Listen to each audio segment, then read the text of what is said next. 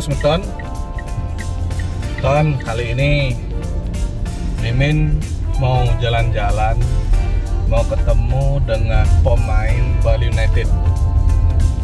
Siapakah dia? Nanti clue-nya di video saat turun. Pasti Semeton. Kalau fans Bali United pasti udah mengetahui Siapa sih uh, yang Blimin maksud ini. Blimin sekarang udah berada di daerah Sidakarya dan Pasar Bali. Nanti Blimin mau berbincang-bincang, ngobrol, hanya sekedar ngobrol semeton. Biar semeton juga tahu apa sih kegiatan si ah, siapa namanya ya nggak boleh nyebut namanya sih nanti si yang Blimin 7 ini pasti penasaran ya kita sambil jalan lanjut menuju lokasi 还有什么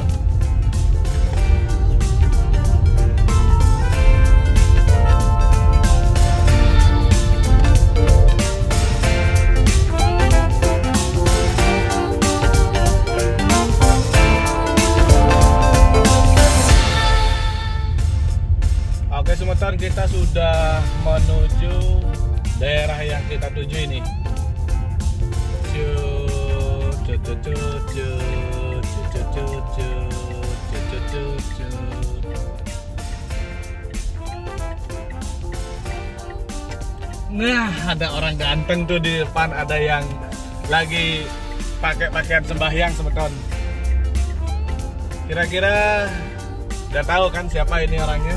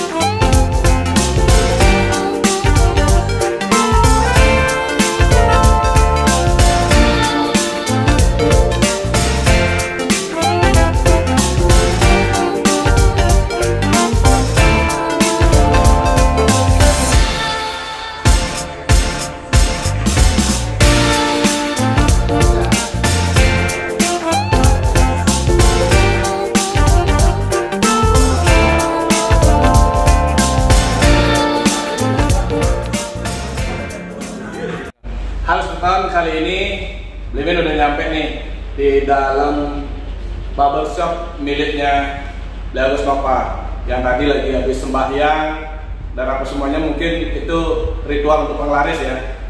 Biar banyak orang yang ke sini mau cukur rambut. Yang mau cukur rambut dan apa semuanya langsung aja nih. Kebetulan Limin pas lewat dan pasar setelah tadi review-review stadion Ngurah Rai dan yang lain. Jadi Blimin sempat kontak Bagus Bagus gimana sih? Gitu. ya disuruh ke sini nih mau cukur rambut. Nah ini posisinya di mana Bagus di Jalan Sidakarya hmm? eh, nomor 20A Pendidikan Sidakarya. itu Sultan. Dikepoin nanti ada Instagramnya nggak? Ada. Instagramnya Bapak Boys Bali.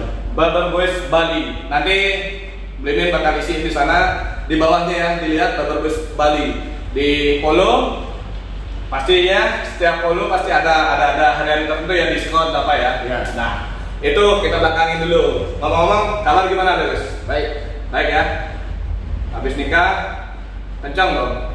Belum nikah. Oh belum nikah ternyata bos belum nikah.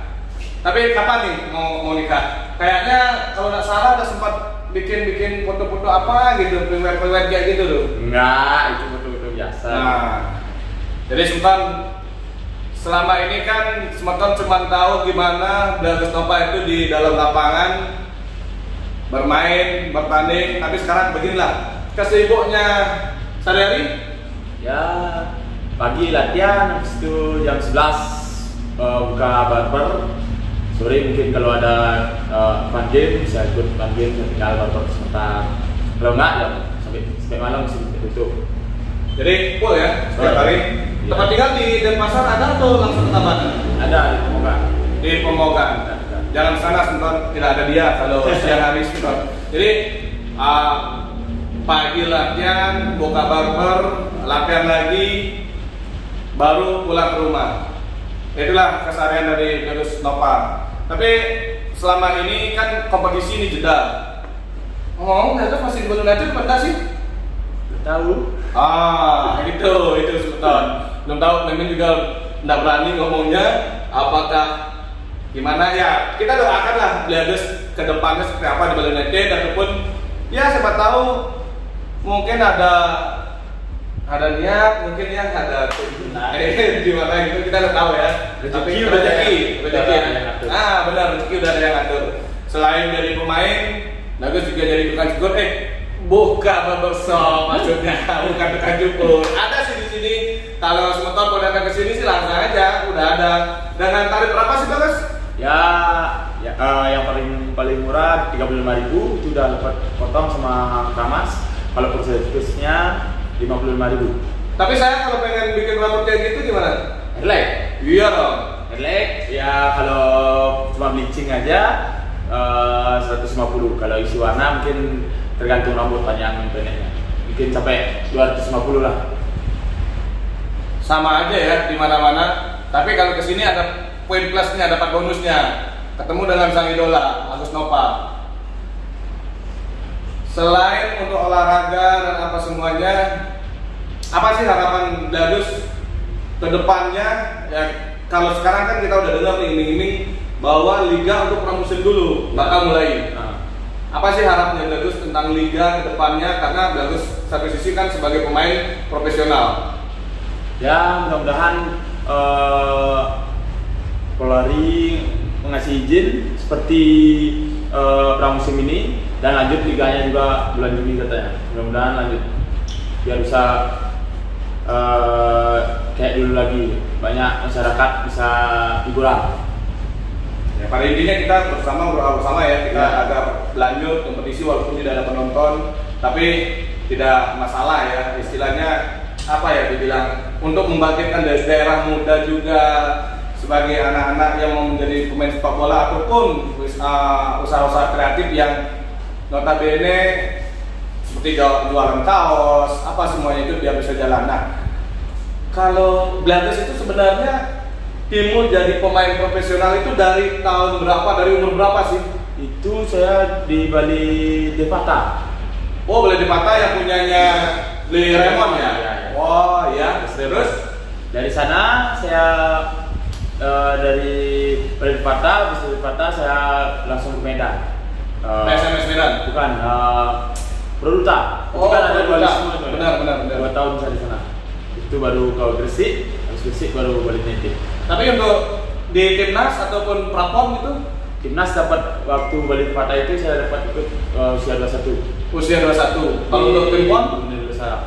Pon saya tidak pernah karena temen lewat. Oh, Prapon pernah, tapi itu prapon waktu mainnya di Lombok.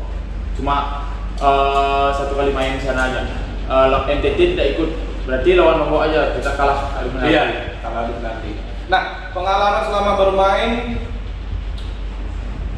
ah, idola mungkin ya. Idola kalau jadi pemain kayak Bladus kayak gini udah jadi pemain profesional udah pastinya punya pemain idola juga kan dari yang nasional dan internasional tuh siapa Bladus? Kalau yang Indonesia saya Bang Hamka. Bang Bangsa ya. Kalau luar, eh, oke. PK. Wah, secara body Iya. sama ya sebetulnya. semoga uh, yang siapa yang diidolakan sama Bagus Bapak ini ke depannya karena kemarin kan sempat cedera ya. Ya. Setelah cedera ini mudah-mudahan bangkit dan pulih lagi biar TPK dan juga Bang Hamka. Bang Hamka yang ada di sana ini idolanya Bang. Agus Depan Utara Bang. Nah, jadi itu uh, pemain idola. Selama pengalaman bermain juga Bagus nih. Ya di lapangan pernah nggak mengalami dia apa namanya ya uh, grogi ataupun uh, nervous kayak gitu pernah nggak sebelum masuk dan sampai di lapangan kayak gitu? Ya, saya memang kalau sudah di lapangan, saya anggap saja lapangan itu sepi. Saya nggak dengar uh, instruksi supporter, apa yang dibilang, saya cuma instruksi pelatih saja. Tapi kalau saat supporter dari atas cantik itu lagi lagi sopan, kalau kayak gitu gimana? Tidak, saya tidak uh, ya siapa tahu aja ya, bilang uh, kalau itu ya ya oke lah. Uh, cuman pernah nggak uh, pengalaman yang paling berat menghadapi tim tim apa? Dan pemainnya siapa yang paling berat di halau di belakang? Dulu kan bersama siapa ya partner Bagus Ambiun Keon Seton yang kangen inilah dulu duetnya Ambiun Keon. Jadi siapa sih yang sulit dilewati atau tim yang sulit rasanya Bagus lawan gitu loh dalam pertandingan? Kalau waktu 2017 itu? 2017 uh, itu striker uh, Boas. Boas ya? Bang Boas ya? Bang Boas kalau tim tim yang sudah dikalahkan? Ah. itu kan Bayangkara. Bayangkara Seton Bayangkara jadi tim yang sulit dikalahkan dan sulit untuk diterobos itu. Nanti takutnya kita ditilang. Nah itu Sultan. Ah, jadi kira-kira apa aja ah, yang sudah dilakukan selama ini dari Bilago sendiri untuk tim Bali United dan juga tim-timnya yang dulu itu sudah mencerminkan bahwa Bagus itu memang benar-benar fokus dalam sepak bola. Mungkin kiat-kiat Bagus karena sekarang banyak juga ya anak-anak yang notabene mau belajar sepak bola tapi terkadang dia malu untuk bergabung di SSB dan mungkin apa sih kiat-kiatnya untuk jadi pemain dari yang biasa menjadi pro gitu loh? Ya kita harus dari kecil memang harus masuk SSB harus rajin berlatih dan berlatih. Jangan berpuas harus kerja keras juga. Kerja keras dan jangan cepat puas itu senton jadi semeton yang mempunyai adik saudara anak setiap pesannya beliau tadi jangan cepat puas dan harus latihnya dengan giat. Karena dalam apa namanya dalam usaha itu harus ada yang namanya yang dibilang tadi seperti Bagus bilang tadi kerja keras latihan sungguh-sungguh biar seperti nantinya pengen jadi seperti Bagus Nova ataupun yang lain sekarang kan Bagus dengar ya uh, dua harusnya sih tahun sekarang kan Piala Dunia U20 ya, Ya. banyak stadion kita kurang lebih ada Dita jadi venue utama Stadion Kompiar Sujana Trisakti Stadion Samudra dan Ngurah Rai itu diperbaiki. Apa tanggapan ataupun pesan dari Bagus setelah dan sebelum jadi stadion ini tanggapan Bagus juga seperti apa? Tentang renovasi ini. Ya sangat bagus lah. Eh, apalagi eh, di Bali. Hmm. Eh, sekarang sudah direnovasi eh, oleh negara kita. Eh, jadi eh, Bali eh, banyak punya lapangan bagus. Eh, untuk anak-anak muda yang sekarang Hmm. Eh, masa depannya banyak mempunyai lapangan bagus Ustaz. kalau dulu? Ya standar lah. Standar ya lagi di peten di tempat-tempat yang banyak sekarang kan udah Ah, jadi mungkin ada nggak niat nanti ke depannya beliau sendiri? Walaupun dari Tabanan tinggal di Denpasar mau membuat suatu apa ya wadah ataupun suatu sekolah untuk anak didik untuk bu- buat anak didik untuk anak uh, sekolah SSB kayak gitu Leus. Ya, pasti kebanyakan uh, kalau selesai main bola, kebanyakan yang jenjangnya akan menjadi pelatih. Jadi pelatih ya. Tapi harus melalui mekanisme ya. Ya. Apa aja lisensi lisensi kan selama ini saya dengar udah ada Ya. yang jalan lisensi gitu. yang udah umur Hmm. masih belum pasti sebenarnya masih masih bisa main bola. Nah, untuk cederanya Blagus sendiri gimana nih sekarang? Sudah sih, Sudah fit? sudah fit. Merasa fit? Ya. Coach Teko, udah fit katanya nih Coach. Oke, Semeton mungkin nanti Semeton juga bisa komen, nanti juga Blimin sampaikan ke Agus Nopawiantara ataupun Semeton pengen datang kunjungi uh, Blagus Nova langsung plus bisa cukur kumis, cukur jenggot, cukur rambut, cukur tit, nggak boleh disebutkan. Itu bisa datang ke Barber Boys di Jalan eh, di Sidakarya Jalan Pendidikan nomor 20A. 20A. Nanti mungkin uh, bisa dikepoin juga di IG uh, Instagramnya Barber Boys. Uh, di sana pasti ya ada diskon ataupun ada promo-promo yang menarik di Barber Boys ini untuk mendukung mendukung usaha dan kegiatan Barber Nova selama musim pandemi ini. Tapi ini kan bukan untuk musim pandemi aja, nanti untuk ke depannya juga. Dan harapan Bagus di sekarang, ke depannya seperti apa Bagus? Buat. Barber Boys dan Bagus sendiri Ya, dan Bali. Ya mudah-mudahan usaha saya ini semakin lancar walaupun pandemi ini ini eh, mulai bulan akhir bulan kemarin sudah mulai customer sudah mulai peningkatan sih mudah-mudahan eh, di tahun 2021 ini semakin meningkat lah. Untuk Bali sendiri diharapkan seperti apa? Kamu mungkin banyak nggak datang ke sini. Untuk eh, Bali ya wisa- wisatawan yang masih belum datang mudah-mudahan bangkit lagi biar bisa hotel-hotel buka buat masyarakat Bali Bukan masyarakat Bali aja, Senton. Semua. Uh, semuanya, seluruh Indonesia yang menonton uh, channel Mimin ini di RJE Casual Channel ini seperti itu harapan kita semua di Bali sebenarnya di Bali uh, sudah bagus ya penerapan untuk protokolnya untuk liburan ke sini yang memang benar-benar ngefans sama Blagus Nova Wiantara sendiri bisa datang langsung kunjungi nanti di sini uh, limit kasih alamatnya di sini dan langsung datang ke sini juga langsung.